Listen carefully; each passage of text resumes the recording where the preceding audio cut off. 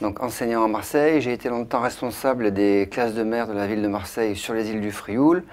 Donc j'ai beaucoup travaillé avec des enseignants et des élèves euh, sur la mer et il me semblait intéressant donc, de participer aussi à un travail sur l'air. La difficulté de, ce travail sur la pollution de l'air, c'est que c'est des choses souvent qu'on ne voit pas. Euh, c'est des choses sur lesquelles autrefois on communiquait très peu. Bon, maintenant on en entend quand même le plus souvent, le plus souvent parler.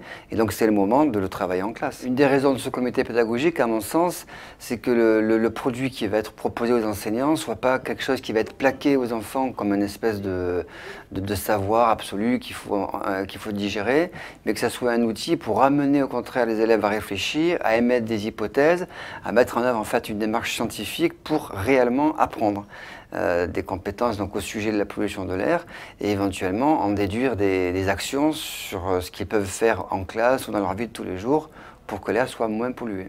Un des points forts de l'outil, c'est de travailler les, compétences à, travers les dessins.